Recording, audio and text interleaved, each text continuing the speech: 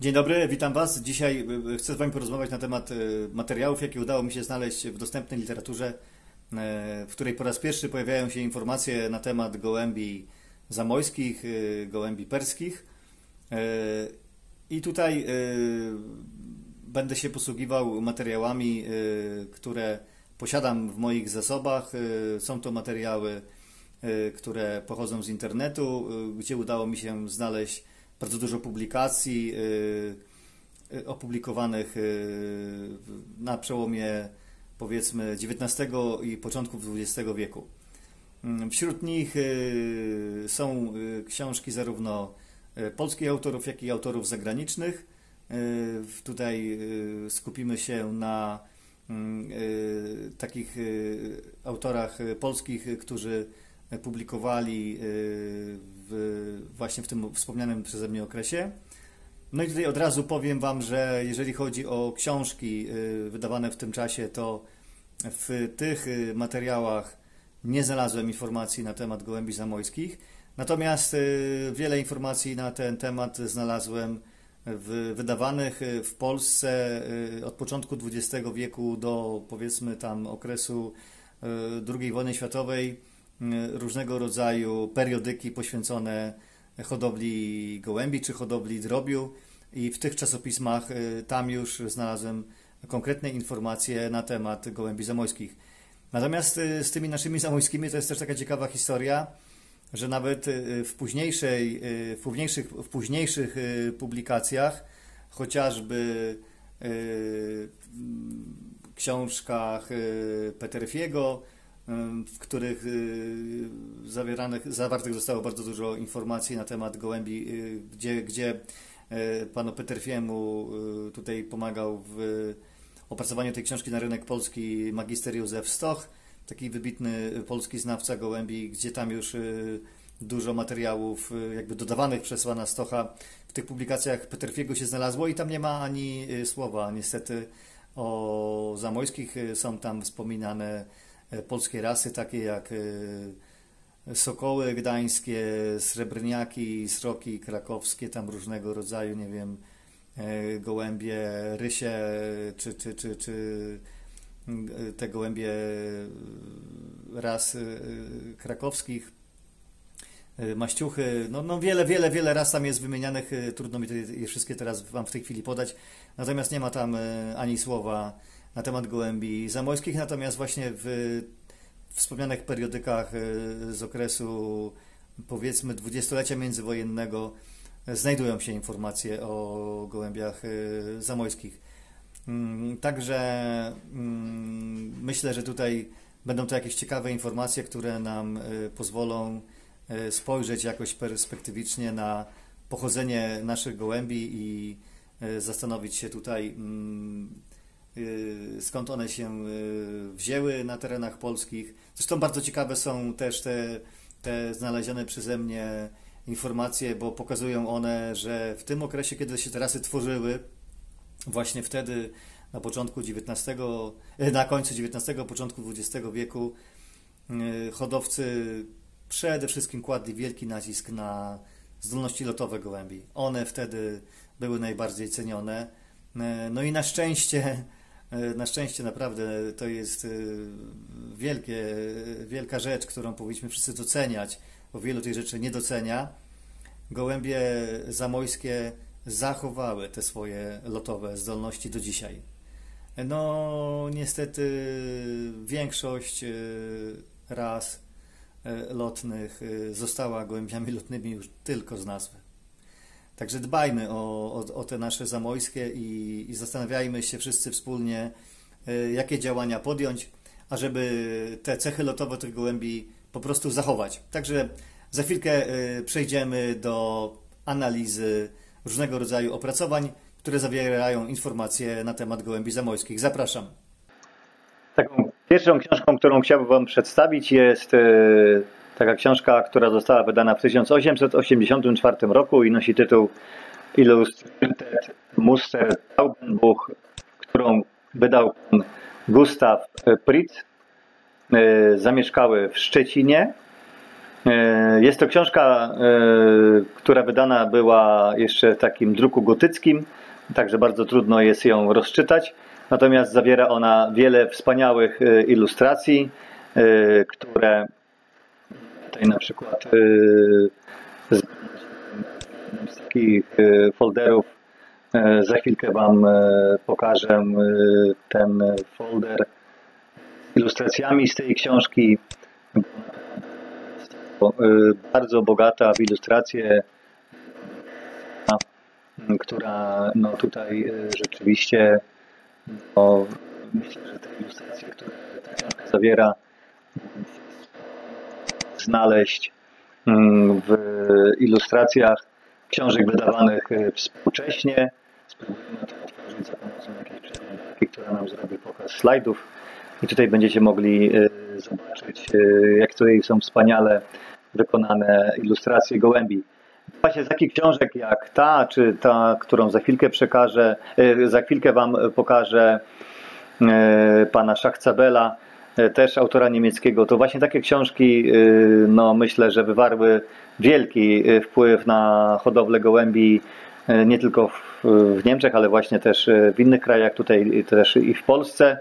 I myślę, że to dzięki temu, że te książki dotarły do rąk hodowców gołębi mm, kiedyś tam, nie wiem, w początkach XX wieku czy na końcu wieku XIX i oni tam czytali te niemieckie ilustracje, gdzie właśnie, nie wiem, gołąb z białym ogonem y, był opisywany jako Weissschwanz, y, czy potem to zmieniono na, na, na, na Wyszwanc, określając białoogona czy gołębie z białą e, głową Weisskop e, i tutaj e, do dzisiaj się używa takiego określenia Weisskopy na gołębie z białą głową, czy wreszcie wśród hodowców gołębi zamojskich przetrwały takie określenia jak Blankop, taka tutaj krzyżówka, skrzyżowanie słowa z języka francuskiego i blank, biały i głowa niemieckiego, niemieckiego kopf, blankop E, i tutaj e, czy, czy Schwarzkop, e, co potem zmieniono na Warszkop albo Schwarzkop. Także jak widzicie, te podręczniki wywarły, wywarły jakiś tam powiedzmy naprawdę niebagatelny wpływ na, na rozwój hodowli gołębi, a poza tym no, to były doskonałe ilustracje prezentujące po prostu jak te gołębie mają wyglądać i, i zresztą ilustracje to pokazują, że hodowla tych gołębi pozostawała na bardzo wysokim poziomie. Były to już w tych czasach ptaki doskonale dopracowane e, i też tutaj niesamowicie zadbane e, przez swoich hodowców. Także tutaj w tych książkach też wymieniani są hodowcy.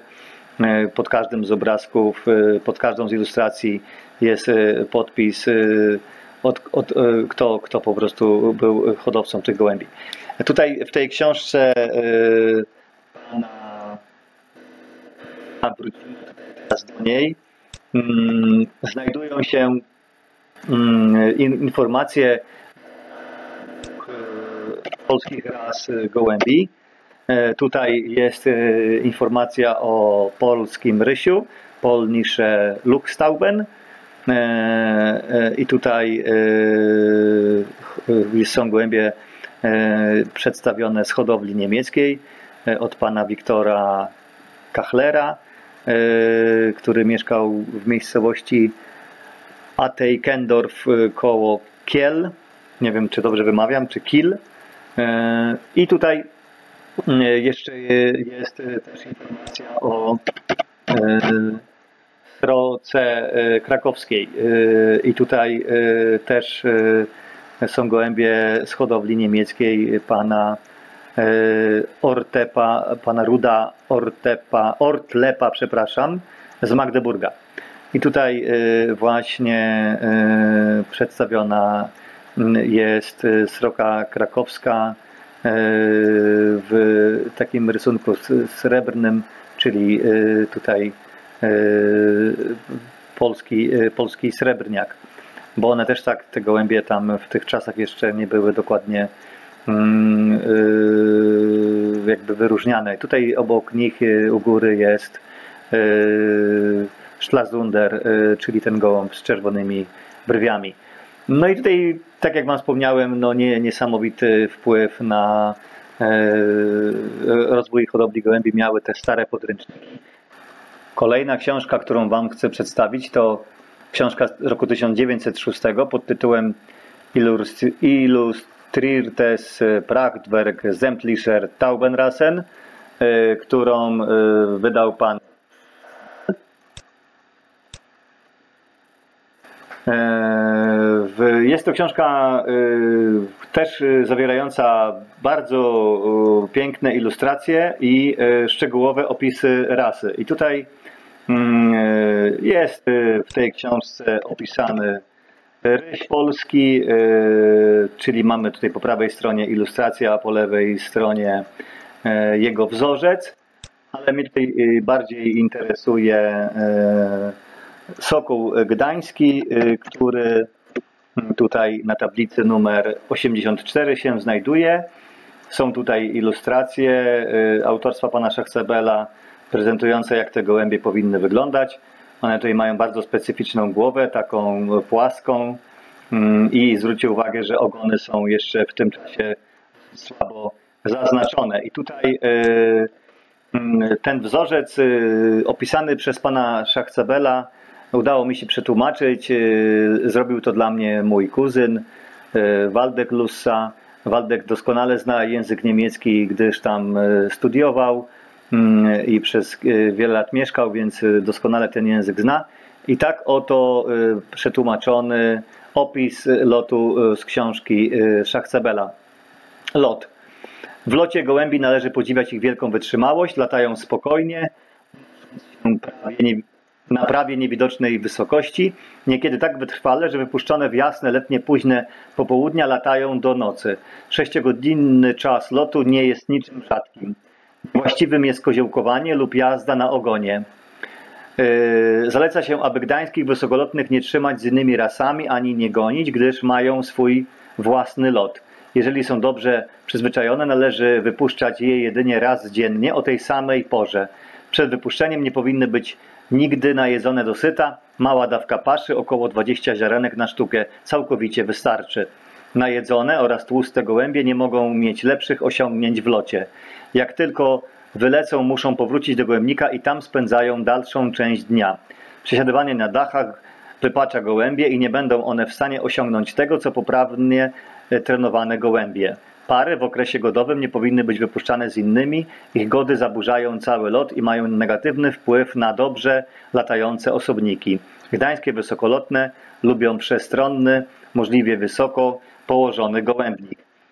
E, właśnie w tej e, książce mm, pana Szachcebela e, określany jest on mianem Danziger Hochflieger, a wcześniej właśnie były jeszcze inne nazwy dla zamojskiego, dla przepraszam, Sokoła Gdańskiego używane i są też nawet w polskiej literaturze wcześniejsze wzmianki na temat tych gołębi. Natomiast e, e, specjalnie na początku pokazałem te książki niemieckie, żeby pokazać Wam, jak one były e, bogato wydawane, jakie tutaj były doskonałej jakości ilustracje, opisy szczegółowe. Myślę, że w podobny sposób dana współcześnie książka na pewno miałaby bardzo wielu chętnych odbiorców wśród hodowców gołębi. I tutaj y, chciałem jeszcze zwrócić uwagę na to, że właśnie y, w tych y, książkach, które opisywały gołębie do lotu, gołębie lotne,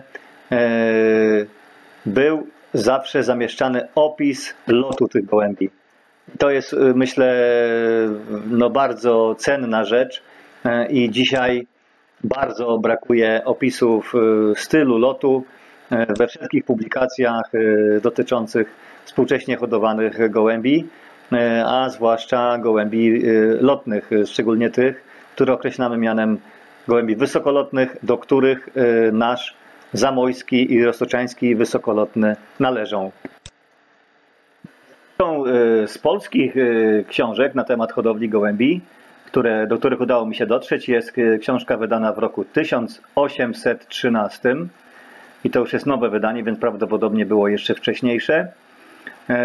Autorstwa księdza Krzysztofa Kluka i napisał on taką książkę pod tytułem Zwierząt domowych i dzikich, osobliwie krajowych, historii naturalnej, początki i gospodarstwo, potrzebnych i pożytecznych domowych chowanie, rozmnożenie, chorób leczenie, dzikich łowienie, oswojenie, zażycie, szkodliwych zaś wygubienie.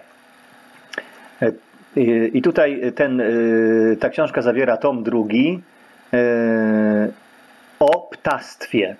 I tutaj w tej właśnie książce znajdujemy informacje na temat gołębi.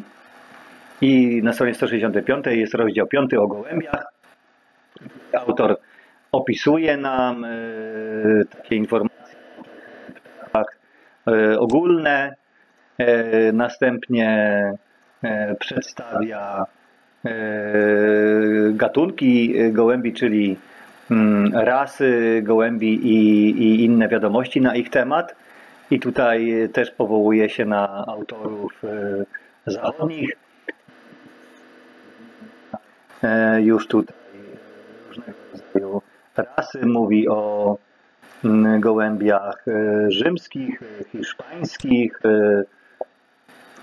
o parzach, czyli o pawiowkach, czyli o pawikach. I tutaj są jakieś takie informacje o, o tym, jak należy gołębie utrzymywać. Wymieniłem tych kilku raz gołębi.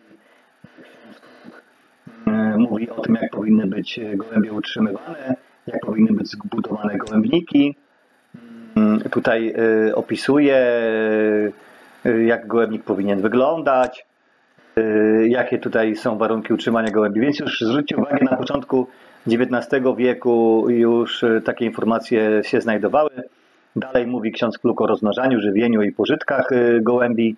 Także no tutaj sporo takich podstawowych informacji w tej książce księdza Kluka już się znalazło. Tutaj też w tej książce z 1813 roku autorstwa księdza właśnie przedstawiającymi jak wówczas budowane były gołębniki, z takimi kapeluszami z blachy, które miały chronić gołębnik przed dostaniem się tam z ziemi drapieżnika. Więc no, zwróćcie uwagę, że już w tak zamierzchłych czasach były początki hodowli gołębi. Kolejną książką polską jest wydana w 1864 roku w Lwowie książka pod tytułem Ochowie ptactwa domowego, jako to drobiu, gęsi, kaczek, indyków i gołębi. I podanie sposobów doświadczenia czerpanych, jak ptactwa domowego, ta dotąd tak zaniedbana gałęź gospodarstwa. Do tego stopnia doprowadzono być może, by największą korzyść przynosiła i najwięcej się popłacała. I tutaj pan Spital na jednej z, ze stron swoich książek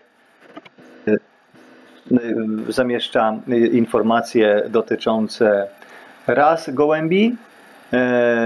Najpierw wspomina on o gołębiach dzikich i tutaj tak też to często było, że w podręcznikach tych właśnie starych z końca XIX wieku często jeszcze wymieniano gołębie dzikie.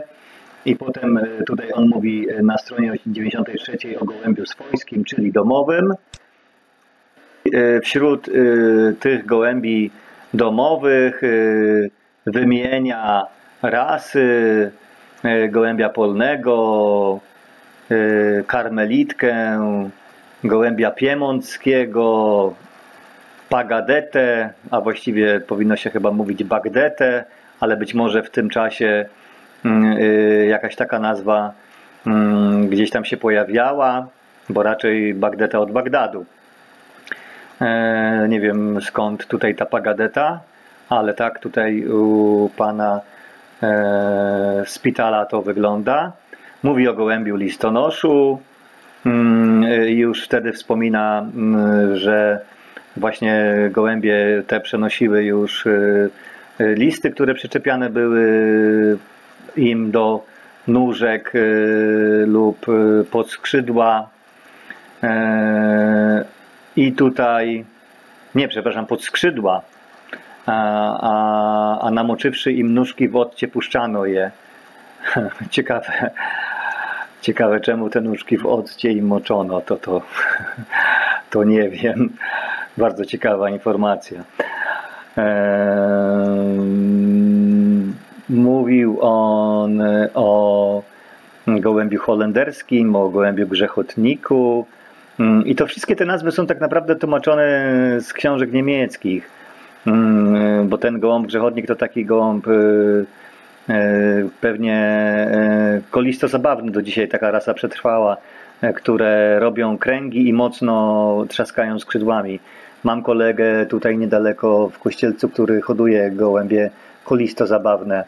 Mm, garłacze już wymienia pan Szpital, E, wymienia gołębia z maską na środku głowy, e, wymienia gołębia mnicha, gołębia kretyńskiego, gołębia miesięcznego, mm, e, perłówkę, gołębia jakobińskiego, czyli pewnie chodzi tutaj o kapucyna.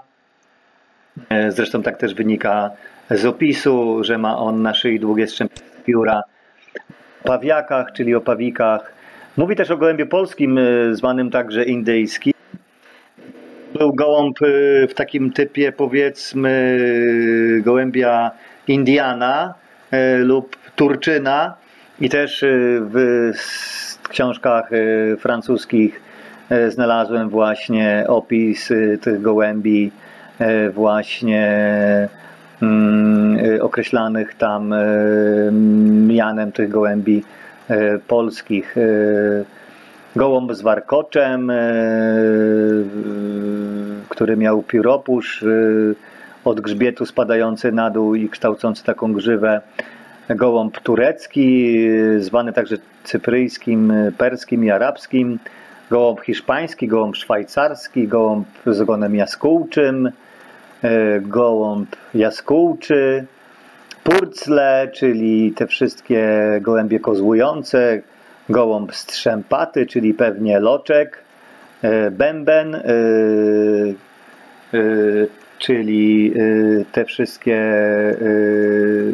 gołębie, mm, które no, też nazwane były trębaczami, czyli turkoty, gołębie, które w specyficzny sposób gruchają. E, I on tutaj e, też e, wymieniał o tym, jak powinien być zbudowany gołębnik, jak tutaj powinno się, jak się rozpoznaje płeć, jak gołębie karmić. Więc tutaj kilka takich informacji znajdujemy, jak gołębie wysiadują jajka, mm, jak gołębie powinno się nimi opiekować. Też ciekawe są te wzmianki o środkach do przynęcania gołębi, czyli e, dla nich takich e, smakołyków, żeby one chętnie w głębniku przebywały.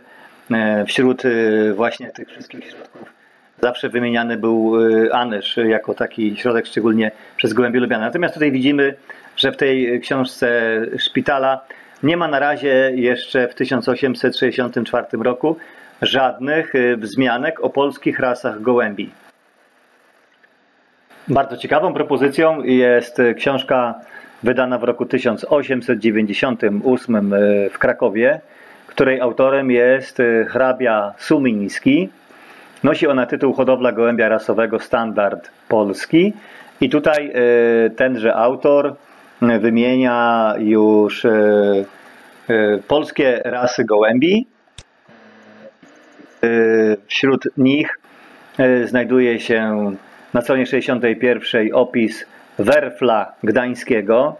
E, e, tutaj jest z literatury niemieckiej e, zapożyczona nazwa Danziger Wolkenstecher, czyli gdański rysowacz chmur, taki, taki rytownik, taki, taki, który rysuje chmury. Nie rysuje na nich, tylko rysuje je takim, takim rysownikiem, robi na nich ślady, rysuje tak jak, nie wiem, jakby ktoś zarysował lakier. Tak to mniej więcej takie słownictwo było używane. Zresztą tutaj bardzo ciekawa jest nazwa Werfel. Mm, I tutaj wspomniałem Wam wcześniej, że z tych niemieckich książek te nazwy przetrwały do, do dzisiaj. E, jeszcze e, cały czas e, tutaj na Kujawach o gołębiach koziołkujących mówi się werfle.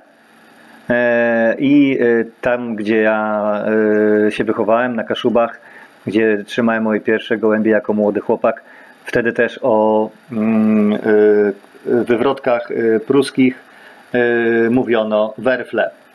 One tam były dosyć mocno rozpowszechnione. I tutaj mm, też znamienne jest to, że wśród tych gołębi wysokolotnych bardzo ważną część opisu znajdował, stanowił, przepraszam, opis lotu.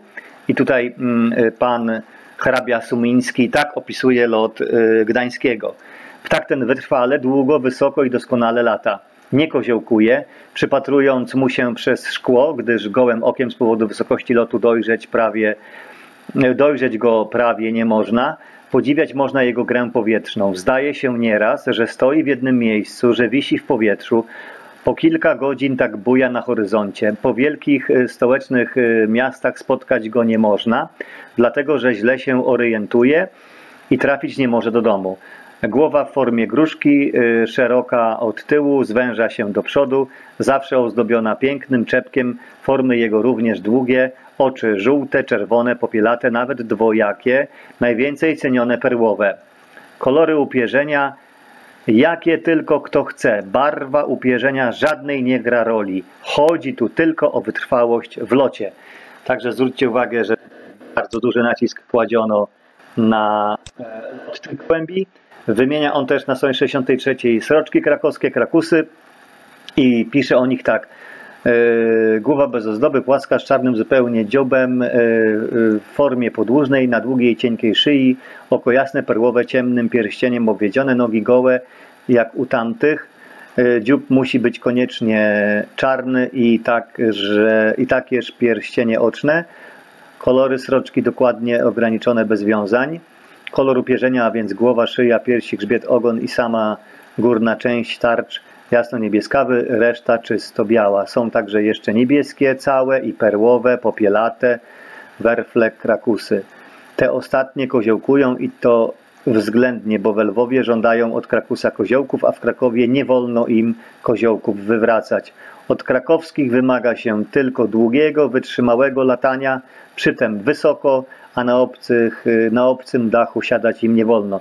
Czyli no zwróćcie uwagę, że wtedy pod koniec XIX wieku bardzo ceniono te gołębie e, za ich lotność i tutaj już e, w tej e, książce możemy znaleźć opisy polskich ras wysokolotnych, jakimi był Sokół Gdański i Sroka Krakowska. Tutaj autor mówił o tym, że ona ma być bosa, jak e, te poprzednie, czyli jak e, sroczki niemieckie, bo też tutaj takie sroki autor hrabia Sumiński opisywał. Książką, którą chcę Wam przedstawić, jest książka Józefa Victoriniego pod tytułem Hodowla gołębi, wydana w roku 1921. I w tejże książce mm, znajdziemy opis określanych mianem latawców i wywrotków, latawce i wywrotki, y, inaczej zwane purcle, koziołki, pląsacze.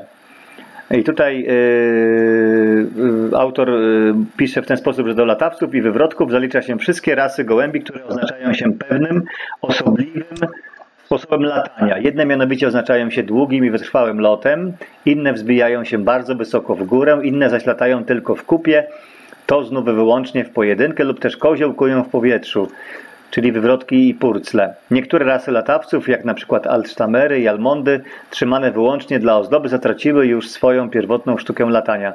Zarówno pod względem wielkości, budowy ciała, formy głowy i dziuba, Mamy rozliczne lasy latawców o najrozmaitszych odmianach i barwach upierzenia, których wspólną cechą jest atoli zgrabna i smukła postawa. Gołębie powyższe dzieli się na trzy grupy, a mianowicie na latawce długodziobe, średniodziobe i krótkodziobe. I tutaj wśród długodziobów, długodziobych latawców wymienia siwki polskie, polskie sroki, krakusy inaczej, murzyny warszawskie, rolery bukowińskie i orientalne, e, latawce hanowerskie, duńskie, holenderskie i tym podobne. Czyli tutaj są polskie rasy, tak? Siwki polskie, polskie e, sroki, czyli krakusy i murzyny warszawskie.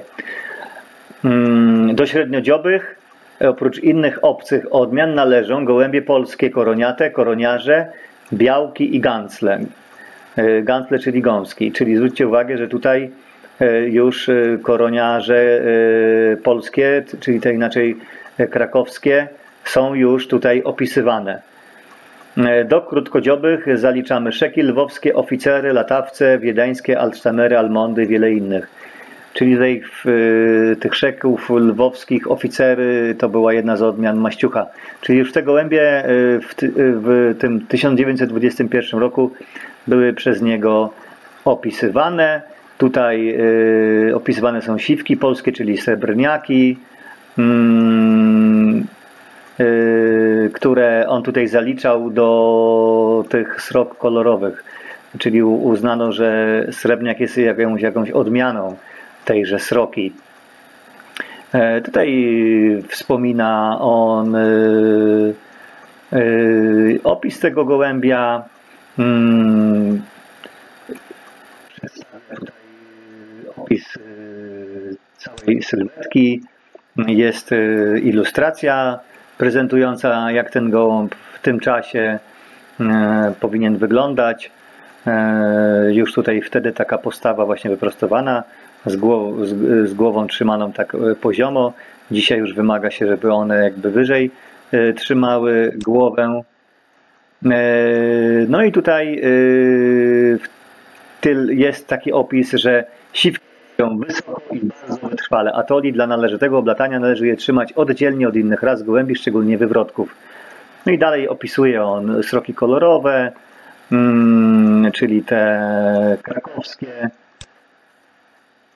tutaj jest też y, przedstawiona rycina prezentująca Krakusa, tą srokę kolorową. Jest opis Murzyna Warszawskiego, jest opis koroniarza polskiego. Y, opisywany jest ten gołąb jako piękny, pilnie koziołkujący, mały gołąbek o białej głowie z dużą koroną utworzoną z piórek okalających głowę i o białych y, końcach skrzydeł, z którego to powodu nazywają go także gołębiem końcatym. Yy, też tutaj yy, właśnie opis yy, umaszczenia, potem opisany szeg lwowski, inne, inne rasy gołębi, które, które na ten czas hodowano. Natomiast w tej książce autor nie wspomina o sokołach gdańskich i, i, i w dalszym ciągu nie mamy wzmianek y, na temat gołębi perskich. Kolejna y, przedwojenna książka y, poświęcona hodowli gołębi to książka Maurycego Trybulskiego pod tytułem Gospodarski i amatorski chów gołębi opasowych, pocztowych i ozdobnych. I tutaj ten autor dosyć liczne publikacje popełnił na temat gołębi. Był też taką osobą, która znana jest z tego, że on podczas II wojny światowej yy, po prostu zginął yy, podczas takiej sytuacji, kiedy chciał ratować zagrożone jakieś, jakąś zagładą gołębie w Warszawie, w której, w której mieszkał i został przez Niemców zastrzelony. Ten pan Maurycy Trybulski mm, sporo pisał na temat gołębi w jego publikacji y, taką mianowicie informację y, o gołębiach lotnych, w których wymienia on rasy polskie. Trybu pełnego ekranu. O. I tutaj mamy ilustrację. Pokazany jest srebrniak, pokazany jest gołąb gdański wysokolotny. Tutaj też już jest taka nazwa gdański wysokolotny użyta w tej książce. Mm, do tej pory właśnie Zwróćcie uwagę, że mówiono o Wyrflu Gdańskim, mowa też była o Sokole Gdańskim, tutaj już jest mowa o Gdańskim Wysokolotnym. Tak tutaj ten, to nazewnictwo się kształtowało. Pisał on tutaj pan Trybulski o Srebrniakach, opisywał tutaj bardzo szczegółowo ich wygląd. Pisał też o ich locie. Srebrniaki doskonale latają i podczas lotu ładnie frontują, to jest czynią jednocześnie zwrot całym frontem. To też gonienie do lotu srebrniaków jest najulubieńszą rozrywką hodowców tych gołębi. Srebrniaki są łatwe do chowu, dość płodne i niewybredne w stosunku do karmy i pomieszczenia. Pisał też o murzynach yy, warszawskich, yy, które też były gołębiami lotnymi o postawie srebrniaka. Yy, odróżniano tutaj, że mają inne umaszczenie. Mówił o gołębiach perłowych, yy, o krakusach, yy, opisywał tam różne odmiany. Z, z, mówił, że zwane są również szpanerami, kasztanami. E, tutaj, jeżeli chodzi o e, lot srok, to pisał, że gołębie te doskonale koziołkują i ta zaleta jest bardzo wymagana. Płodzą się dobrze, istnieje odmiana Gansla, mianowicie krakowska, który nie koziołkuje. Czyli tutaj też właśnie jak poprzedni autor wspominał o tym, że mm, jedna z odmian koziołkowała druga nie. Opisuje tutaj krymki. E, pisze, że krymki należą do rzędu dobrych latawców, nieraz koziołkują, chowają się łatwo, bez, e, lecz doborowo, doborowe okazy trudno zdobyć.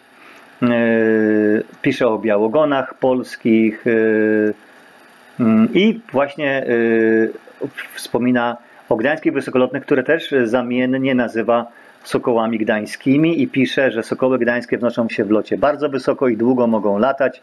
Rozmnażają się łatwo, chowane są przez amatorów wysokiego i długotrwałego lotu. Mówi też o koroniarzach polskich.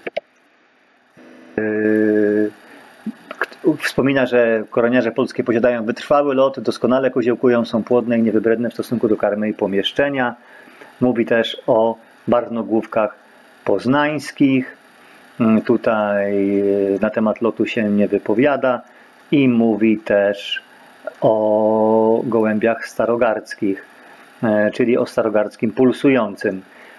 I takie odmiany, takie rasy tutaj w swojej książce wymienia pan Trybulski. E, mamy rok 1932 i w dalszym ciągu w tych książkach nie znajdujemy informacji o gołębiach zamojskich czy perskich.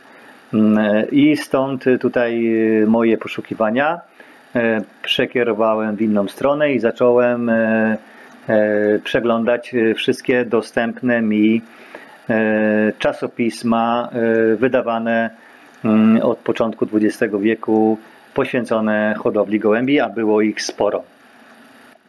Wśród publikacji poświęconych hodowli gołębi było bardzo wiele ciekawych, między innymi na przykład hodowca drobiu, wydawany w latach 1900-1913.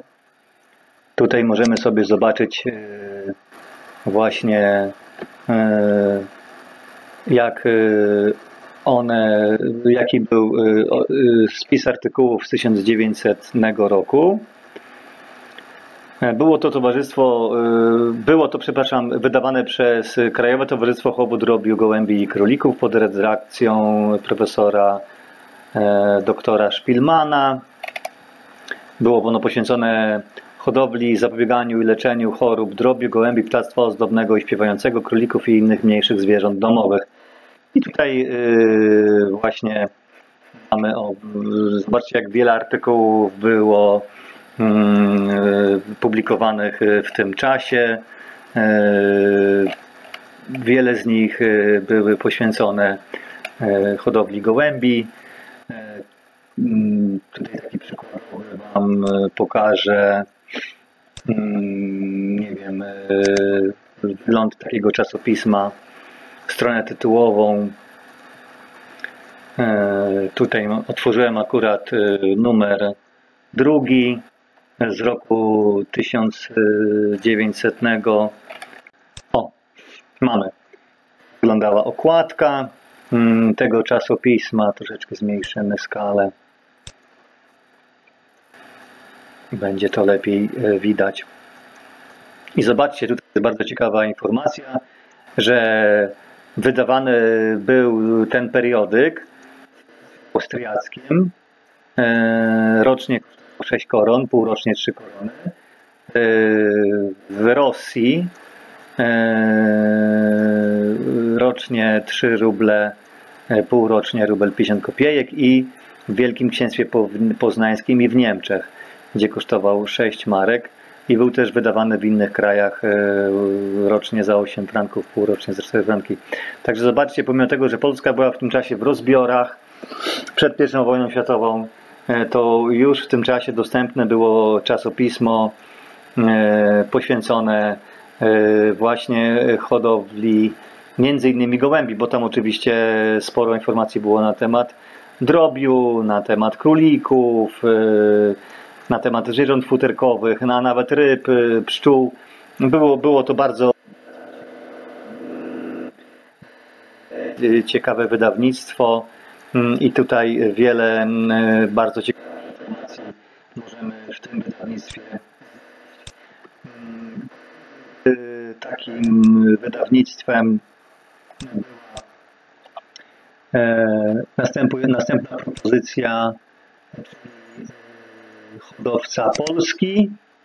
Hmm, tutaj znalazłem e, informację o tym, że był on wydawany w latach 1907-1908 e, hmm, i tutaj e,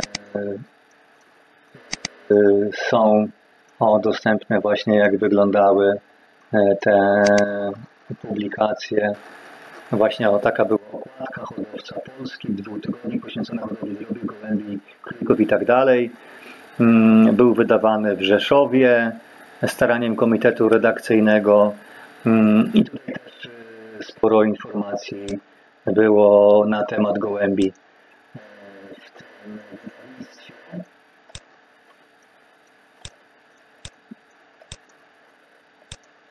I wreszcie yy, takie wydawnictwo, które nosiło tytuł Polski Druk.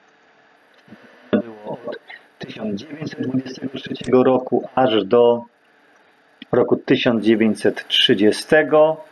Mm, yy, w internecie dostępne są prawie wszystkie numery.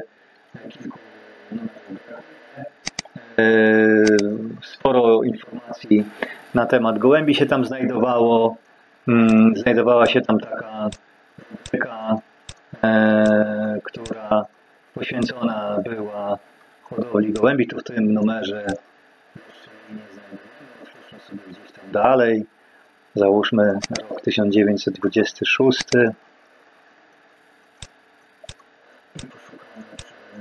E,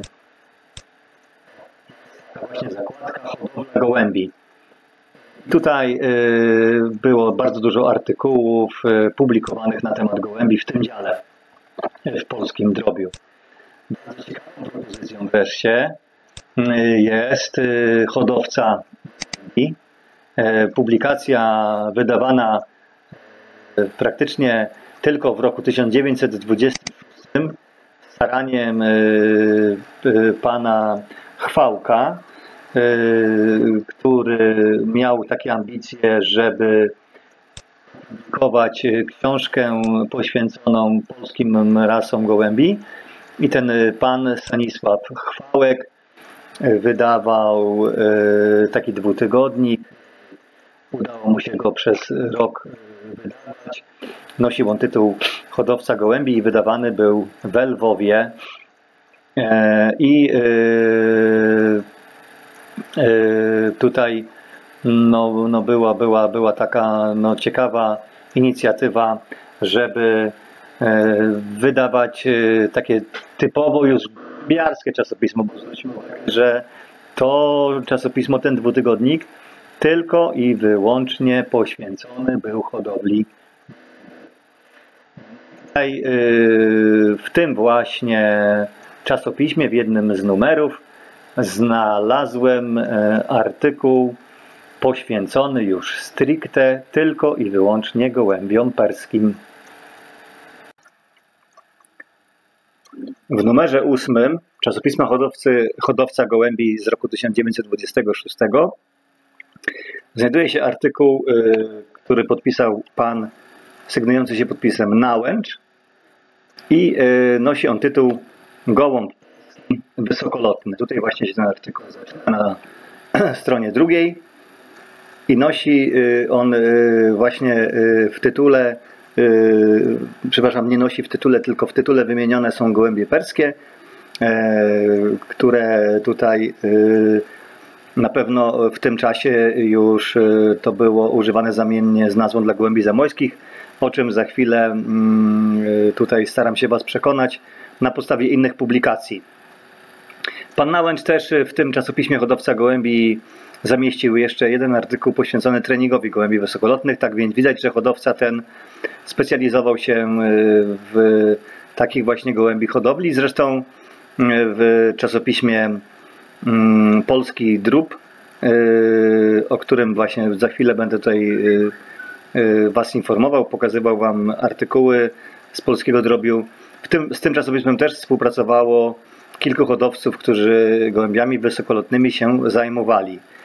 Natomiast tutaj w hodowcy gołębi takim właśnie hodowcą był pan Nałęcz, który pisał tak. Gołąb wysokolotny. Gołębiarstwo wedle upodobania hodowców dzieli się na różne działy. Jedni hodują tylko gołębie pocztowe, inni opasowe, dalej wywrotne, polskie, zagraniczne, wysokolotne. Te ostatnio bardzo mało znane. E, czyli tutaj e, pokazuje nam e, pan Nałęcz, prezentuje pan Nałęcz takie stanowisko, że już w jego czasach mm, te gołębie wysokolotne no, nie były specjalnie mocno rozpowszechnione. To, co jedni hodują i cenią, drudzy wyśmiewają i bagatelizują. Jedni widzą całą przyjemność w pięknej budowie, upierzeniu, drudzy w dobrej orientacji, inni zaś, i tych mamy najmniej, w górnym i długim locie, który trwa od 4 do 9 godzin bez przerwy. Na przykład gołąb prasy wschodniej perski, budową podobny do mewki, ma dziób cienki i długi, nogi niskie, Upierzenie o barwie niewyraźnej robi na pierwszy rzut oka wrażenie zwyczajnego polucha, bez wartości, a jednak dla amatora miłośnika dobrego lotu jest on więcej wart jak najpiękniejsze okazy innych ras. Słuszne więc tu przysłowie, że nie to dobre wszystko, co się świeci. Tutaj obok y, jest ilustracja prezentująca y, gołębia rasy także nie, nie, nie sugerujmy się tutaj tym, tą ilustracją. Tutaj y, pan Nałęcz Bomb ten wypuszczony z podsiadki wylotu z wielkim łoskotem, trzaskiem i życiem wylatuje. Powoli wybija się w górę, a po jakimś czasie, zależnie od pogody i wiatru, okazuje się nam jako mały punkt na horyzoncie. Widzimy go jakby stał w powietrzu, to znów różnymi ruchami zachwyca obserwatora, a niektóre chociaż pięknie koziołkują, wcale się nie obniżają w locie. Czasem znów jakiś zabłąkany gołąb pragnie ich towarzystwa i zbliża się do nich, wysila, jednak spada w dół, nie mogąc zrównać im. Lot tych gołębi, lotu, nie, tu jest napisane jednak tak, lot tych gołębi nie można długo obserwować gołym okiem, a tylko przez lornetkę lub w wodzie. Stawia się dużą balię pełną wody na podwórzu, siada przy niej i w niej obserwuje lot i ruchy gołębi. E, I tutaj e, ta, ten zwyczaj obserwowania gołębi e, przez odbicie z lustra wody niektórzy hodowcy do dzisiaj preferują taką metodę. Tak jak hodowca gołębi pocztowych oczekuje powrotu swoich ulubieńców z podróży z bijącym sercem i tęsknotą, tak znów zwolennik dobrego lotu z piersią pełną radości patrzy i cieszy się swoim statkiem, które tworzy małe punkty na błękicie, to znów znika za chmurami, by wrócić po paru godzinach. No i rzeczywiście gołębie zamojskie do dzisiaj y, znane są z tego, że y, potrafią wchodzić y, w tak zwany zanik, czyli tracimy je całkowicie z pola widzenia, tak są wysoko i yy, nawet regulaminy yy, dla tej rasy przewidują, że gołąb może w tym zaniku pozostawać do 3 godzin. Te więc najrozmaitsze zalety gołębi same nasze same naszą familię gołębiarską podzieliły na różne działy i kierunki, a przecież wszyscy, choć nie jednej i tej samej rasy, kochamy gołębie i dla nich wyrzekamy się często wszystkiego i poświęcamy bez granic. Gołąb perski, tutaj opisuje pan Nałęcz już wygląd tego gołębia, e, ma upierzenie płowo-czerwone, ogon biały, ma po obu bokach jedną do trzech sterówek barwy całego upierzenia, co nazywają niektórzy hodowcy widelcami. Są także w barwie płowo-czarnej i płowo-niebieskiej. Barwa upierzenia, jak u niektórych ras, nie gra tu ważniejszej roli. U nich największą zaletą to górny i długi lot. Gołąb ten podczas lotu trzyma się pilnie swego statka i nigdy nie siada na obcy dach. No i tutaj ten opis y, jest troszeczkę podobny do y, koloru orlika. No i będę tutaj pokazywał Wam kolejne artykuły akurat y, z polskiego drobiu które no, tutaj wskazują na to, że gołębie perskie, zamojskie pochodziły z tych samych gołębi, z których tworzono orlika, czyli z ryżych. Dlatego ten opis koloru jest y, taki bardzo y, podobny. No i ta cecha występowania tych widelców, czyli tego, że ogon w środku jest biały, tylko boczne sterówki są w kolorze. U nas lot gołębi wysokolotnych mało znany i ceniony i śmiało możemy stwierdzić, że zanika, ginie, a należałoby się tem więcej zająć. Mamy wprawdzie kilku wybitnych hodowców tych gołębi, ale to mała liczba dopiero przez okazywanie tych gołębi na naszych wystawach i wskazywanie e, pisemne lotu możemy bardzo dużo zrobić i zachęcić innych do chowu tychże. Chociaż z polskich ras sokół gdański także należy do wysokolotnych gołębi, ma jednak mało miłośników, bo nie cenimy lotu, tylko wyszukujemy to wszystko, co jest nieuzasadnione i wprost szkodliwe dla danej rasy. I tutaj pan Nałęcz wskazywał już na to, że no dochodziło yy, wtedy w okresie dwudziestolecia międzywojennego już do tej sytuacji, że no, yy, nie, nie ceniono już sokołów gdańskich za ich wspaniałe cechy lotowe, tak jak tam pisał yy, pan hrabia Sumiński, że u tych gołębi nieważny był kolor, a przede wszystkim liczył się lot, tak już yy, no, te 30 lat, 20 kilka lat później mm, już było inaczej. Yy, ceniono tutaj przede wszystkim gołębie za ich wygląd, a cechy te lotowe poszły na drugi plan. Także to jest pierwszy udokumentowany artykuł, w którym opisane są gołębie perskie i e, rzeczywiście e, ten autor wskazuje na ich podobieństwo do e, orlika polskiego. W tym czasie były też orliki dopiero tworzone. Były one tworzone na bazie gołębi ryżych sprowadzanych z Rosji. I tutaj yy, przypominam taki opis właśnie ten yy, budową gołą podobne do mewki, dziób cienki, długi, nogi niskie, upierzenie o barwie niewyraźnej, E, czyli to, mm, e, co robiło na pierwszy e, rzut wrażenie mm, zwyczajnego polucha bez wartości, czyli taki gołąb o niezbyt w tym czasie jeszcze, mm, no powiedzmy, ugruntowanej sylwetce. Były to początki widocznie tworzenia tej rasy i dopiero pewnie następowała praca nad tymi gołębiami. I praca ta głównie polegała na tym, że tworząc orlika z gołębi ryżych Szła selekcja w dwóch kierunkach. E, jedne gołębie, te, które miały lot sztorcowy, stójkowy, służyły do tworzenia orlika.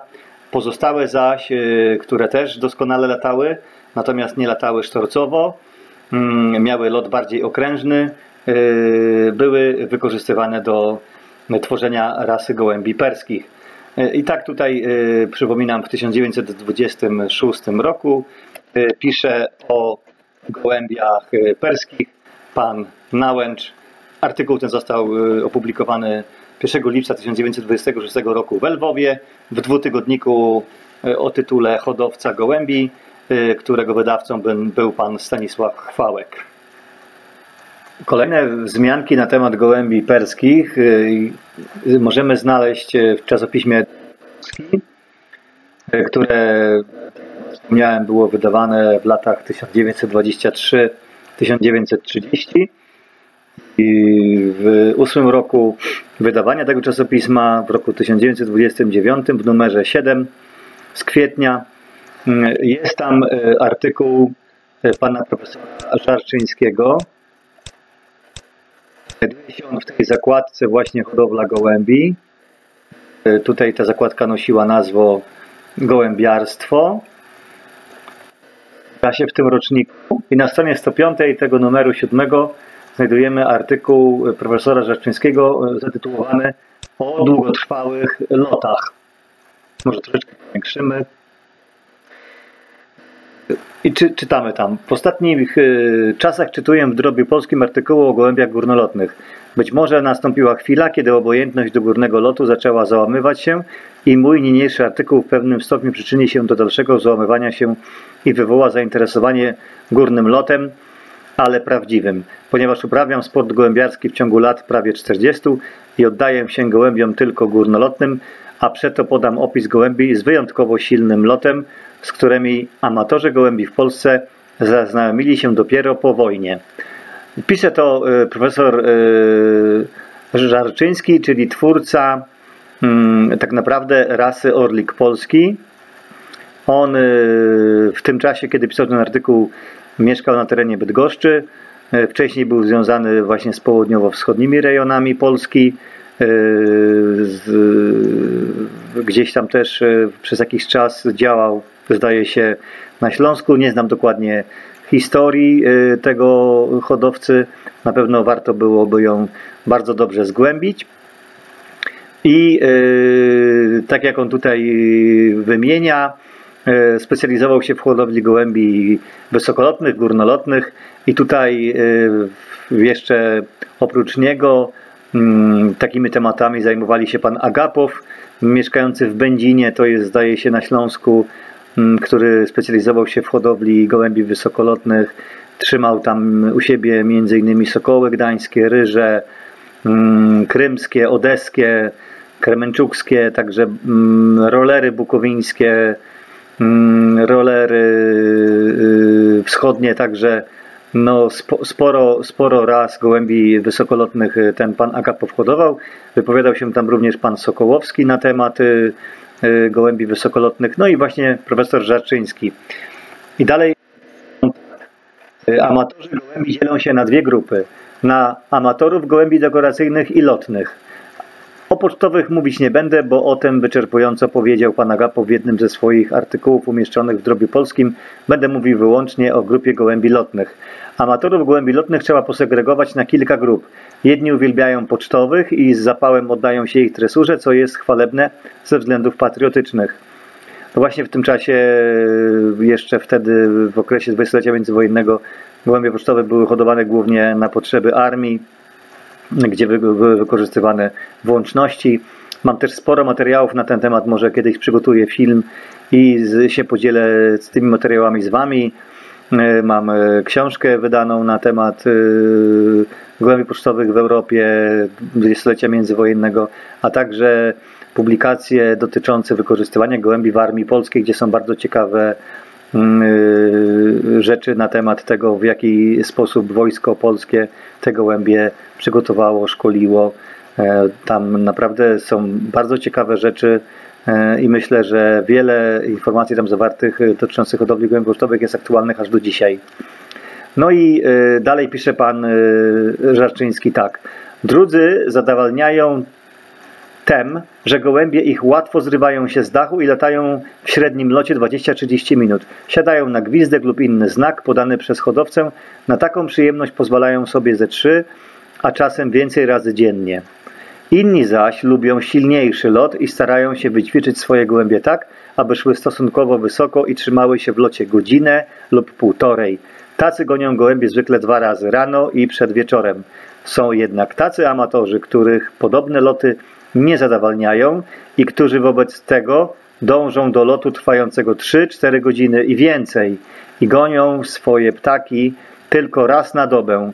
Należę do tej ostatniej grupy amatorów, więc o nich obszernie wypowiem się. Dalej profesor Rzeczyński pisze, niedużo jest gołębi nadających się do takiego silnego lotu. W kraju są znane Stralsundy, czyli gołębie stralsundzkie z Niemiec, gdańskie i zwróćcie uwagę, tutaj pisze wyraźnie, zamojskie w nawiasie perskie, tak? Czyli już wtedy, e, w 1929 roku e, funkcjonowała nazwa gołębie zamojskie, zamiennie perskie. Kremeńczugskie, krymskie, odeskie, które zasługują na szczególną uwagę, a nareszcie tak zwane ryże. Ja ich nazywam skowronkami. Czyli tutaj wymienił te wszystkie rasy, między nimi jako te gołębie najlepiej nadające się do takiego silnego lotu wskazał właśnie wśród nich yy, profesor Żarczyński gołębie zamojskie, już wtedy nazywane perskimi. No i zwróćcie uwagę, że tam przed chwilką yy, przypominaliśmy sobie artykuł pana Nałęcza w hodowcy gołębi publikowanego w Lwowie i tam yy, on mówił o gołębiach perskich. E, I dalej pan profesor Żarczyński pisze tak. E, otóż uważam, że ze wszystkich ras wymienionych wyżej, jakie amatorzy hodują u nas w Polsce, najsilniejszą w locie jest ta ostatnia, czyli ryże. W Bydgoszczy nazywają ich skowronkami, w Lublinie szaryki, a w Wilnie nocne. Niezależnie od nazwy, wszędzie gdzie je zaprowadzą, gołębie te wzbudzają wielkie zainteresowanie amatorów ze względu na wyjątkowo silny lot pod względem czasu i wznoszenia się do góry na taką wysokość, że kompletnie giną z oczu na kilka godzin. To też tutaj bardzo ciekawe jest dla mnie, że w okolicach y, Bydgoszczy przed wojną popularne były ryże, e, bo jednak y, w okresie tutaj współczesnym y, no, zbyt popularne zapewne one w tej chwili nie są.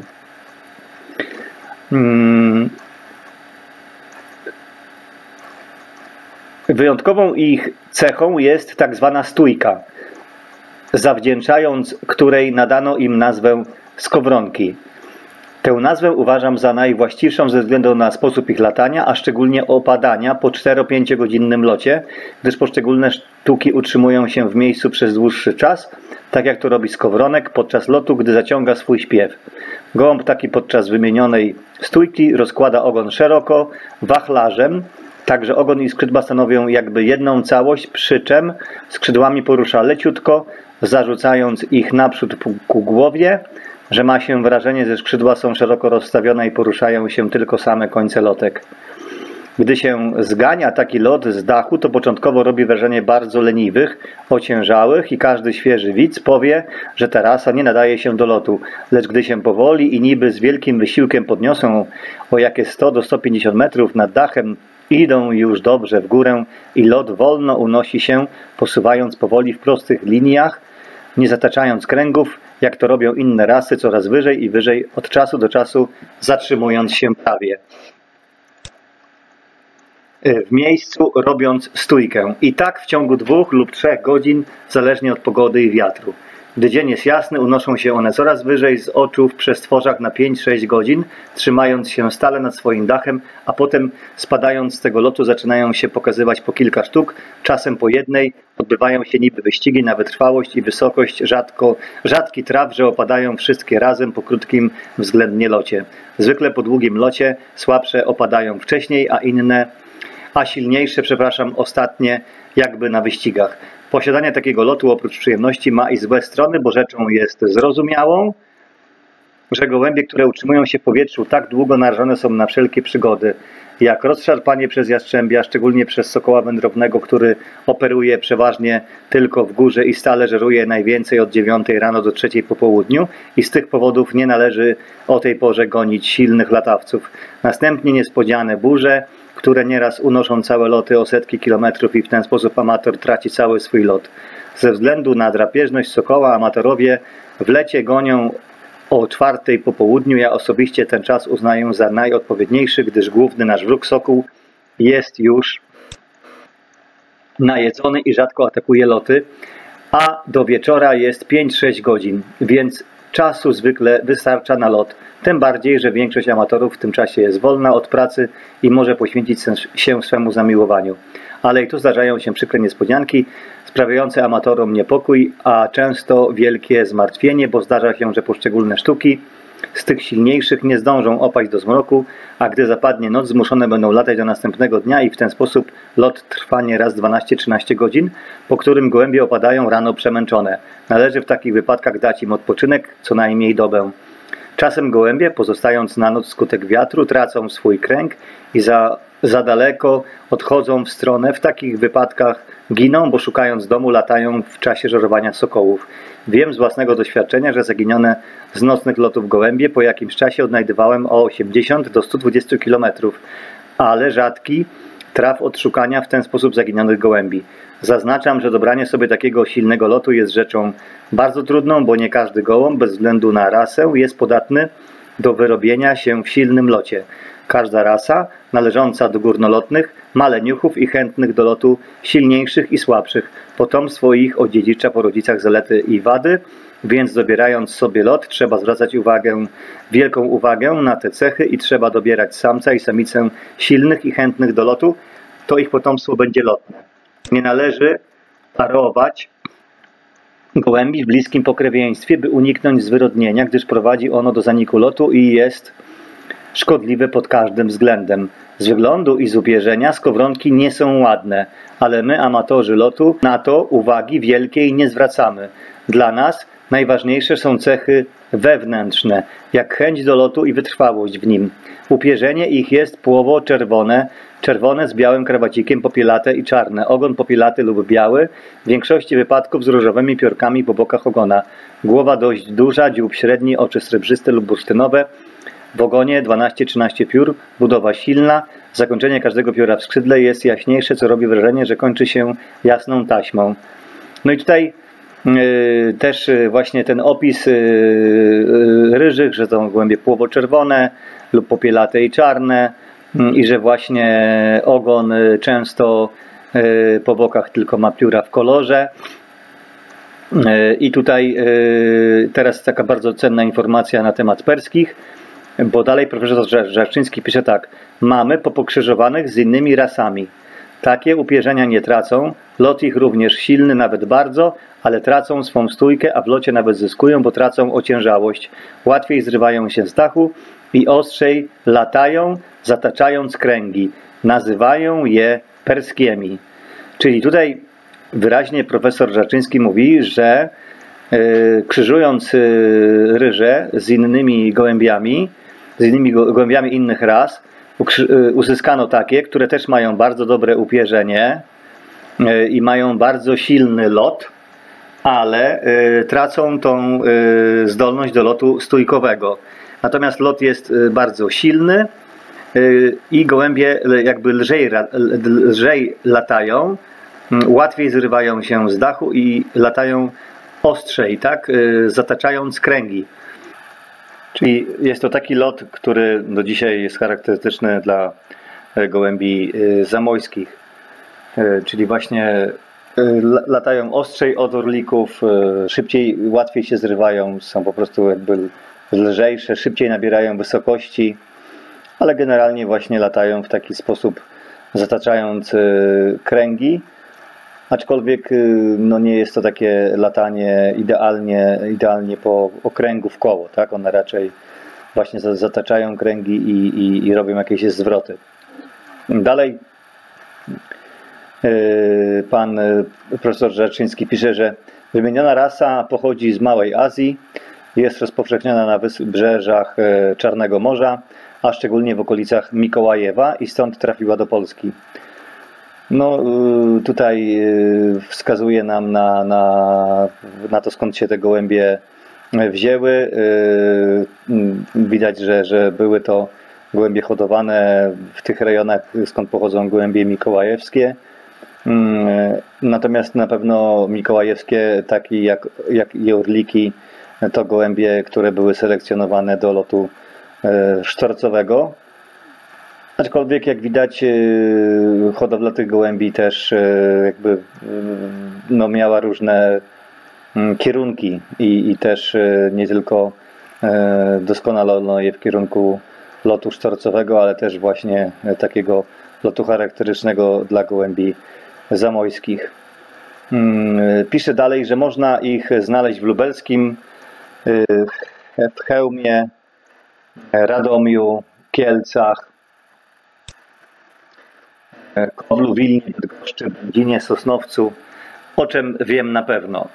Y, czyli tutaj y, wskazał mm, te miejsca, w których perskie w tym czasie były hodowane.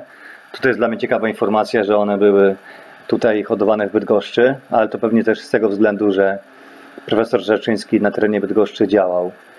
E, prócz lotu mają wywrot, jeden, dwa kozły na miejscu i dość rzadko, a niektóre sztuki sypią po kilka metrów, a czasem i po kilkanaście, lecz takich jest mało, a winni temu są sami amatorzy, bo źle dobierają pary i ten wywrot stopniowo zanika. E, no, generalnie do dzisiaj u Zamojskich zdarza się, że one kozłują, fikają, jak to mówią hodowcy w tamtych rejonach, mówią na takie gołębie fikacze.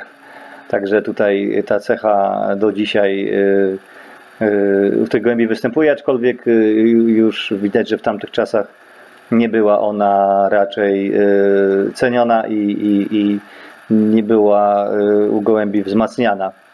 Poleca się amatorom takich lotów nie gonić wcale. Kilka pal wypróbowanych i dobrze dobranych gołębi, uważając te pary za rozpłodowe, a gonić tylko ich potomstwo.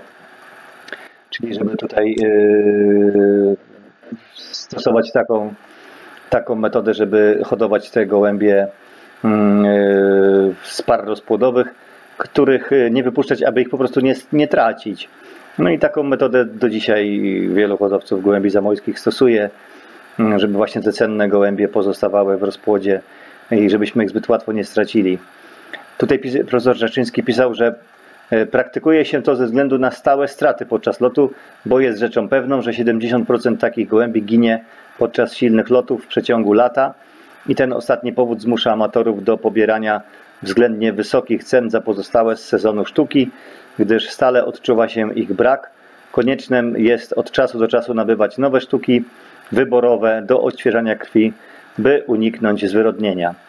No tutaj te straty, które opisuje profesor Żanczyński były na bardzo wysokim poziomie, ale widać, że też w tych e, czasach, e, o których on tutaj wspomina, no, populacja drapieżników była dosyć duża i tutaj cały czas on wskazuje na, na to, że e, te drapieżniki powodowały duże straty. No i też na pewno te gołębie w tym czasie były rasą stosunkowo młodą, więc na pewno doskonalono ją dopiero w zakresie takiej orientacji w terenie i widocznie nie była ona jeszcze na tyle dopracowana, że te straty były takie duże. Pomyślę, że no 70% to są, to są duże straty. No i tutaj w tym miejscu ten swój artykuł y, profesor Włodzimierz y, Żarczyński kończy. Kolejną y, wzmiankę na temat gołębi perskich znajdziemy w numerze 12 Y, polskiego drobiu z rocznika 1929, który był wydany 15 czerwca. Artykuł wspomnianego już przeze mnie pana Tego pana, który hodował głębie tam w Będzinie. W poprzednim artykule tylko profesor Żaczyński wymieniał, że jest on hodowcą y, ryżych, bo tam Będzin wymieniał wśród tych miast polskich, gdzie gołębie są rozpowszechnione. I ten artykuł pana Agapowa nosi tytuł O. I tutaj on popełnił, w którym e, e, zarzuca tutaj, że mm, nadużywana jest nazwa perski czy perskie do różnych przedmiotów czy, czy różnych zjawisk, różnych rzeczy. I tutaj Wspomina też na przykład o perskim proszku, który stosowano w hodowli gołębi e, do zwalczania pcheł, do zwalczania insektów e, i, i zwraca uwagę, że ten proszek ma wspólnego z Persją. E, dalej tutaj mówi o mm, perskim oku w Warszawie, mm, Chyba to jest jakiś lokal, zdaje się. No i jakby zmierza do tego, żeby perskości nawiązać w stosunku do hodowli gołębi. I tutaj yy, znajdujemy właśnie yy, taką, taki w tym artykule tekst. Podobne wypadki yy, bywają i u hodowców gołębi. I tak, Gołębie ryże bywają z mocną stójką, ze słabą stójką i zupełnie bez stójki. Dlaczego jednak mamy nazywać gołębie jednej i tej samej rasy, jedne skowronkami, a drugie pers perskiemi? Również nie wiem.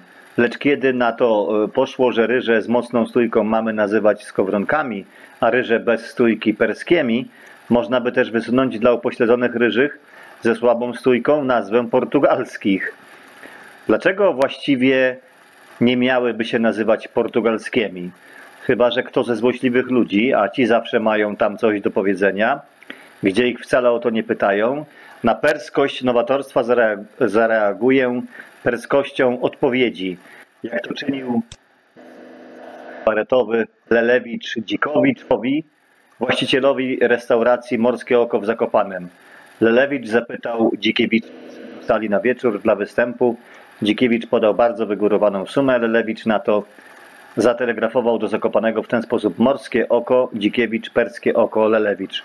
Co prawda perskie oko przez małe p nie jest już tak zbyt przyjemne, mniej przyjemne w każdym bądź razie niż perskie oko przez p duże, ale znów trzeba przyznać i to, że gołębie ryże, jak ten proszek perski, nigdy nie były skoligacone z dworem padyszachów. A zresztą, co to mnie wszystko może obchodzić? Będzin e, podpisał. No właśnie, tutaj Agapow jakby zwraca uwagę na to, że mm, e, mają te gołębie nazwę perskie, ale nie znajduje on uzasadnienia dla tej nazwy ze względu na pochodzenie tych gołębi. Zresztą tutaj sam profesor Zarczyński też tutaj nie wskazuje na to, że te gołębie jakby dokładnie pochodzą z terenów dawnej Persji. Natomiast no, taka nazwa się po prostu przyjęła i ona już po prostu funkcjonowała w obiegu i przetrwała do dzisiaj. Także to są pierwsze takie wzmianki na temat gołębi zamojskich. Zwróćcie uwagę, że w tym artykule poprzednio cytowanym profesora Włodzimierza Żarczyńskiego on już pokazywał, że te gołębie wtedy w 1929 roku nazywane były zamojskimi. A wcześniej w 1926 roku pan Nałęcz też tutaj e, e, opisał nam gołębie perskie. Także to takie moje tutaj uwagi do, do, do jakichś takich wzmianek na temat zamorskich, jakie, zamojskich gołębi, jakie znalazłem w literaturze.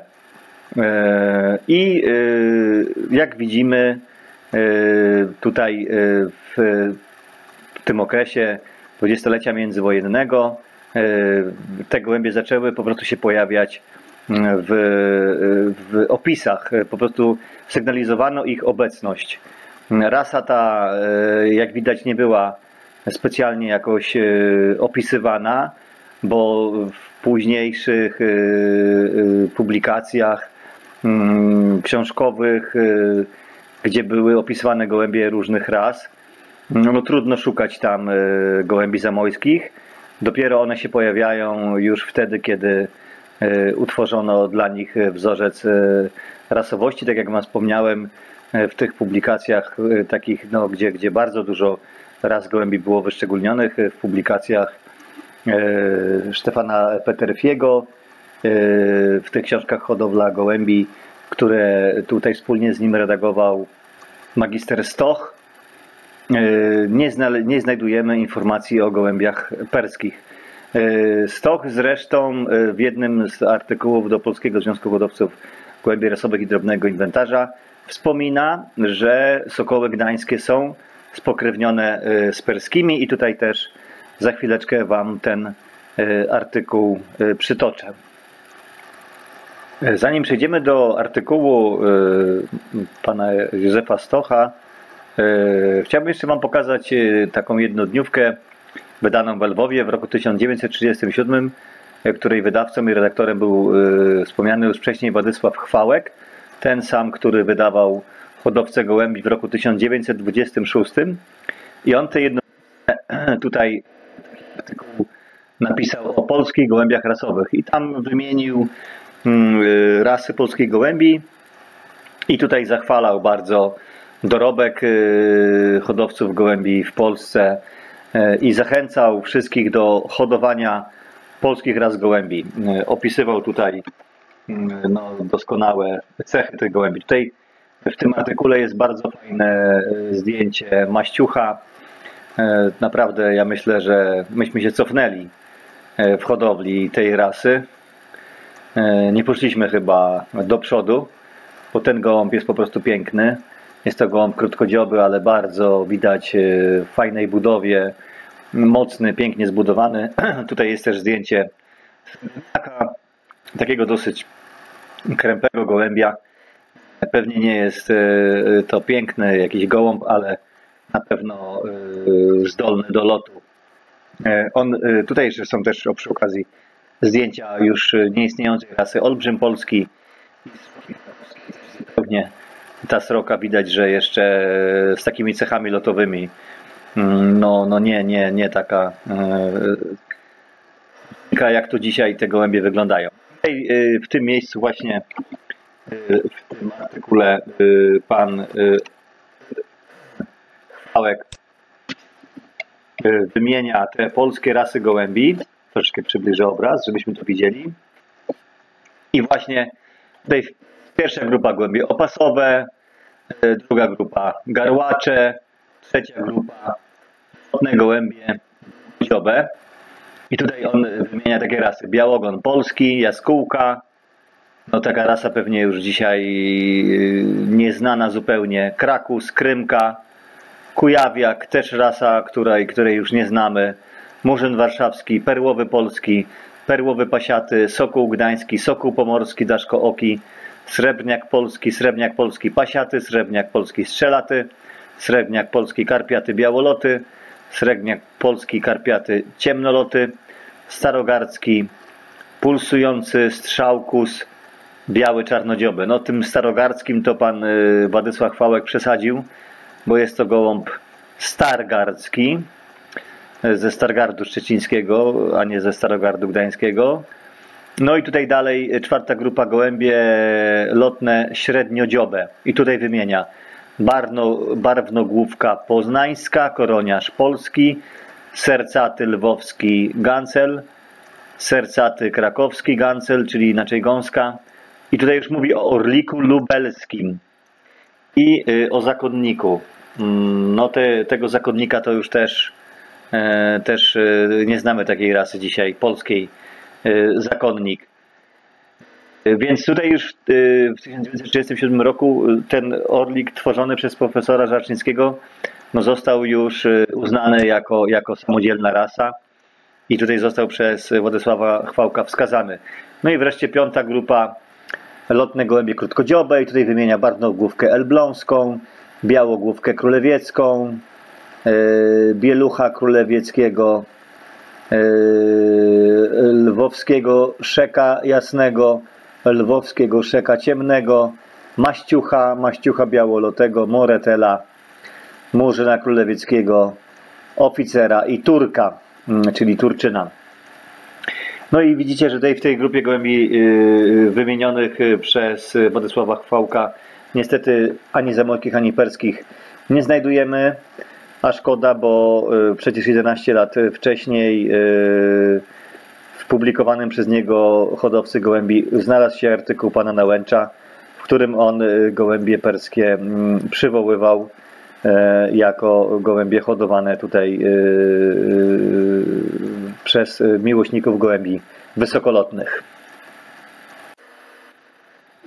Józef Stoch w numerze 5 z roku 1969 e, takiego czasopisma e, związkowego hodowcy drobnego inwentarza, e, opublikował artykuł, w którym przedstawił wzorzec rasy sokół gdański. Tam w tym samym numerze artykułu też przedstawił on wzorzec orlik polski na wcześniejszych stronach. W tym artykule magistra Józefa Stocha znajdujemy takie wzmianki o pochodzeniu głębi rasy pańskiej. Tutaj on na początku swojego artykułu przytacza nam informacje, które zdobył na temat pochodzenia Sokoła Gdańskiego. Trudno też tutaj jakby orzekać o takiej jakby rzetelności tych źródeł, bo szkoda, że on nie, nie zawsze tutaj wymienia skąd one, one się brały. Na przykład mówi, że o informacjach podanych przez pana Blackloera z Gdańska z roku 1905. Natomiast nie wiemy, gdzie on je znalazł. No ale tutaj w każdym razie mm, w dalszej części tego artykułu y, się on na informacje, które przekazywał hodowca gdański pochodzenia niemieckiego M. Rosenkrantz w książce wydanej przez pana R. Seligera. No nie, nie, nie, nie wiem jaka to jest książka. Trzeba by tutaj poszukać w tych źródłach. Mm, szkoda, że właśnie tak nierzetelnie jest podawana bibliografia. No ale spróbujmy do, przeanalizować te informacje, które nam tutaj podaje magister Józef Stoch. Mm, był to no, wybitny taki badacz znawca polskich ras gołębi. On publikował e, w tym hodowcę drobnego inwentarza i tak jak Wam wspomniałem, on e, tutaj e, też wspierał redakcję książki Stefana Peterfiego Hodowla gołębi na rynku polskim. Także tutaj no, no, na pewno posiadał on bardzo, bardzo skrupulatne informacje. I tak jak mówię, były to na pewno informacje rzetelne, natomiast Szkoda, że ta bibliografia nie jest tutaj dokładnie przytaczana, mm, gdzie mamy szukać e, książek, jakie tutaj tytuły szukać, e, z jakich lat. W każdym razie czytamy tak. Inny hodowca gdański pochodzenia niemieckiego M. Rosenkrantz w opisie Sokoła zamieszczonym w książce wydanej przez R. Seligera uzupełnia tę informację i wyraża przekonanie, że początków powstania sokołów gdańskich należy upatrywać również i to przede wszystkim w gołębiach perskich które z końcem XVIII wieku i na początku XIX wieku były dość szeroko rozpowszechnione w Trzewie i innych miastach położonych nad Dolną Wisłą. I tutaj dalej e, mówi tak. Gołębie perskie sprowadzone do Polski jakoby przez hrabiego Zamojskiego dotarły na wybrzeże z południowych rejonów Polski dzięki flisakom spławającym węgiel i zboże e, Wisłą do Gdańska. No tutaj muszę Wam powiedzieć, że E, temat e, sprowadzania gołębi perskich przez hrabiego Zamojskiego był też szczegółowo badany przez pana Zbigniewa Gilarskiego, e, który tutaj w Polsce jest na dzień dzisiejszy takim bardzo mm, skrupulatnym badaczem polskich ras gołębi. On też wydał książkę, w której przedstawił pochodzenie polskich ras gołębi. Jest to bardzo rzetelna publikacja gdzie tutaj e, pan Zbigniew Gilarski opiera się na źródłach e, konkretnych i bierze pod uwagę też aspekty historyczne, e, biorąc tutaj pod uwagę pochodzenie polskich ras gołębi.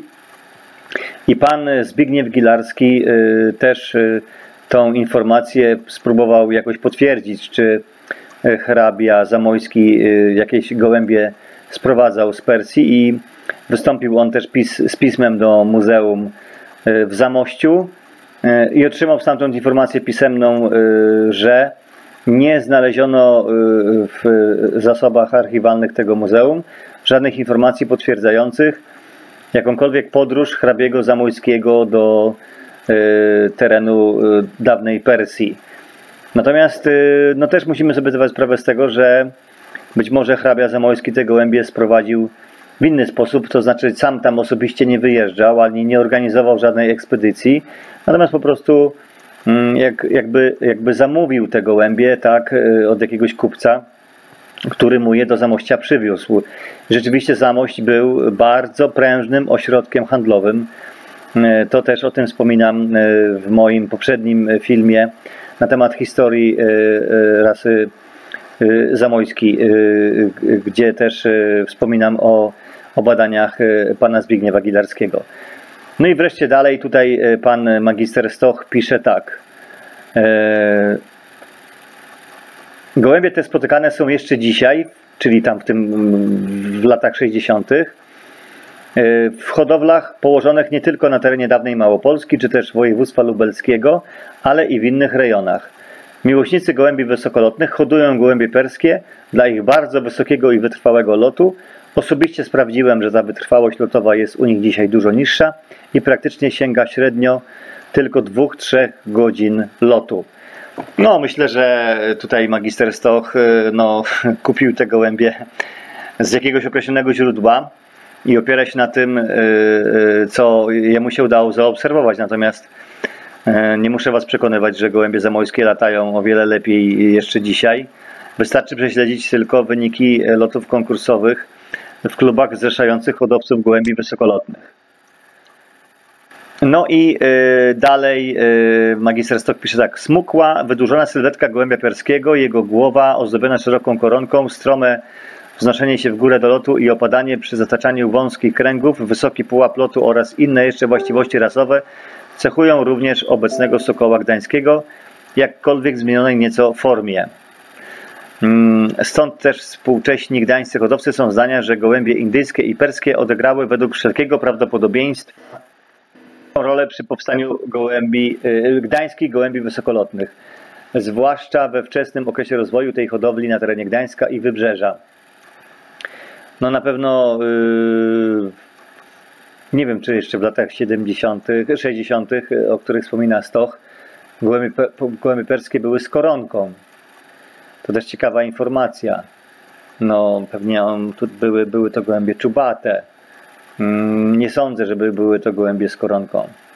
No tutaj nie wiem, czy jest do końca rzetelny w tym wszystkim, y, opisując nam y, tego, tego perskiego. W okresie formowania się tej rasy, pisze dalej Stoch, zanim doszło do jakiegoś ukierunkowania w hodowli gdańskiej gołębi, hodowla ta była prowadzona bezplanowo i jedyną myślą przewodnią, jaka przyświęcała hodowcom, było posiadanie gołębi o długotrwałym i wytrwałym locie i wysokim locie. No i tutaj y, przypominam Wam, że na początku tego filmu przytaczałem mm, książkę hrabiego Sumińskiego mm, z końca XIX wieku, to jest bodajże 1884 rok, y, y, gdzie on y, opisuje nam sokoły gdańskie. No i rzeczywiście mówi o tym, że tam się liczył tylko lot, w ogóle nie, nie liczyło się umaszczenie czy, czy kolor oka. Kryteria dotyczące wyglądu i ich pochodzenia nie odgrywały w tych czasach większego znaczenia, pisze e, Stoch. Dokonywano więc często różnych i zupełnie przypadkowych krzyżówek i nie, nie tylko między gołębiami perskimi i indyjskimi, ale i między różnymi innymi rasami gołębi lotnych obcego i rodzimego pochodzenia. W zależności od swego pierwotnego pochodzenia, indyjskiego, ewentualnie perskiego, wytworzyły się dwa typy gdańskich gołębi wysokolotnych. Obok jednak tych dwóch podstawowych typów wiele było form pośrednich, a nawet wyodrębniły się i utrwaliły formy, których nie można dopatrzyć się ani u perskich, ani u indyjskich gołębi. Jedną z takich form, która dotrwała do obecnych czasów, była odmiana gołębi wysokolotnych o baldaszkowato ukształtowanych piórach nad oczami. Odmiana powstała już na początku XIX wieku i swego czasu była na Pomorzu dość popularna, to bardzo wczesne wyodrębnienie się klapookich gołębi wysokolotnych stało się przyczyną, że niektórzy współcześni hodowcy polscy w gołębiach tych upatrują również przodków obecnego sokoła gdańskiego. No i tutaj właśnie e, ten e, sokół pomorski, tak, czyli ten e, pomorski daszkooki, to jest taka rasa gołębi, która praktycznie jeszcze do dzisiaj przetrwała, jest tam też jeszcze dosyć popularna w Niemczech. No i tutaj yy, widzimy, że mm, magister Stoch y, tutaj badając y, pochodzenie Sokoła Gdańskiego wskazywał na mm, to, że w tworzeniu tej rasy brały udział gołębie perskie. Wspomina o tym, że w latach 60. gołębie były w dalszym ciągu rozpowszechnione na terenie Polski i że on tutaj też sprawdzał y, te gołębie u siebie w gołębniku, tak? Y, nabył gdzieś y, te gołębie perskie. Natomiast mnie zastanawia opis perskiego smukła wydłużona sylwetka i głowa ozdobiona szeroką koronką. No to tak nie bardzo tutaj mm, jakby znajduje potwierdzenie jakichś informacjach, które, które można znaleźć, ale, ale też zdjęciach gołębi, które na przykład na vlog.pl na tym blogu fotograficznym niektórzy z hodowców gołębi zamieszczali, bo tam były zdjęcia gołębi z lat 50., 60. No i tutaj nie, nie było nigdy gołębi z żadną koronką. Były gołębie gładkie lub z ostrym czubkiem. Bardzo podobne do gołębi hodowanych e, współcześnie. No i tutaj w tym miejscu e, już e, kończę tutaj te, te moje rozważania na temat mm, tych wzmianek w literaturze na temat, na temat gołębi perskich. I też od razu przepraszam Was za to, że w niektórych miejscach dźwięk jest jakby urywany. Zwłaszcza zauważyłem wtedy, kiedy wykonuję jakieś ruchy myszką. No ale to niestety jest wina e, oprogramowania komputera. Ja nie mam na to wpływu, nie umiem tego, temu, temu zjawisku zapobiec, za co was, e, was z góry e, przepraszam. I to jest tutaj w tej chwili jakaś taka ostatnia wzmianka w literaturze, z którą chciałem Was zapoznać, mm, przekazując Wam informacje, jakie udało mi się znaleźć na temat pochodzenia gołębi zamojskich. No i na tym y, kończę y, ten film. Y, przedstawiłem Wam zgromadzone przeze mnie informacje na temat gołębi zamojskich. Zachęcam Was do tego, aby te piękne gołębie hodować. Jak widzicie, jest to rasa, której na, na, na temat pochodzenia której E, istnieje wiele legend, wiele domysłów. Mm, we wzorcu rasy jest informacja o tym, że gołębie te mm, sprowadzał hrabia Zamojski.